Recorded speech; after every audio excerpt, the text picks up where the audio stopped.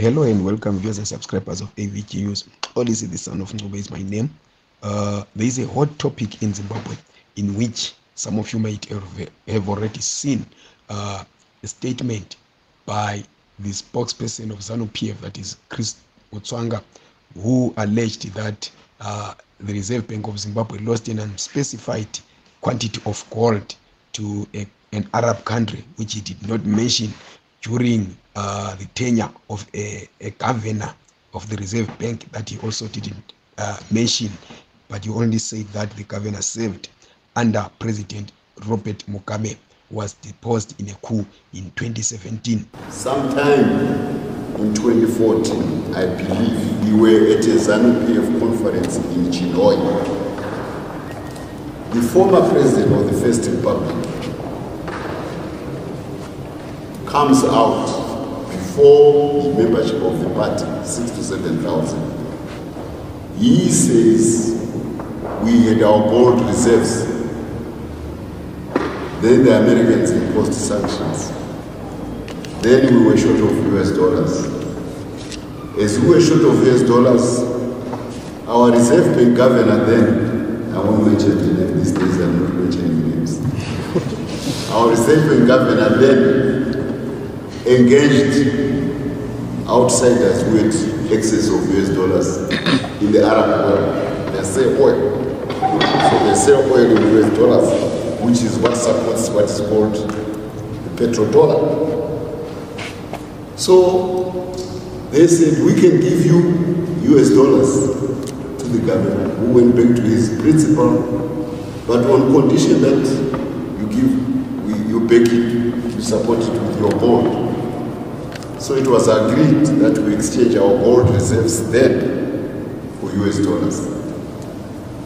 But the transaction to be complete, the Arabs demanded or requested that the gold move from our own vaults outside of the country to where they can see the gold themselves, which our former governor duly obliged. The story gets made after that, according to the former president. The gold reserves are gone, the US dollars don't come. So he had a very facile explanation. He says, you know, Ali Baba and the 40 thieves, these Arabs. So he goes back to folklore that the Ali Baba stole our gold and never brought the US dollars. So the current wars of this country worsened because we didn't have gold reserves. Now, Gono has responded and he says that there was nothing like that. He says Mutsvanga actually lied uh, to the people. He's suggesting that everything that Chris Mutsvanga said was a serious lie. And he's saying in a statement that if such lies are left unchecked with authentic facts, they could become that little spark that sets alight a whole forest at a time when the Arab and the country at large have a more important issue to deal with than waste time uh, attending to felt fires whose uncontrolled consequences could end up melting whatever confidence the bank is trying to build uh, around itself. Uh, in brief, uh, what Gono is saying is that what Mutsvangwa alleged uh, is not true. And he says that uh, no governor would want to comment public on any matters that he dealt with while in office because of the Official Secrets Act. But he says if indeed uh, there is belief uh, that Mutswanga could have been telling the truth, then uh, President Emerson Mnangagwa must put in place a, a commission of inquiry to find out which governor was that and how much was lost in that particular gold into which country. So he says uh, partly in his statement, for the record, former governors for the period concerned, which excludes our inaugural independence governor, the late Dr. K. Moyana, uh, who died in, who, I mean, who presided over the RBZ between 1983 and 1993, uh, Dr. Leonard Tsumba, uh, who served in 1993 up to 2003, part of the sanctions period 2001 to May 2003.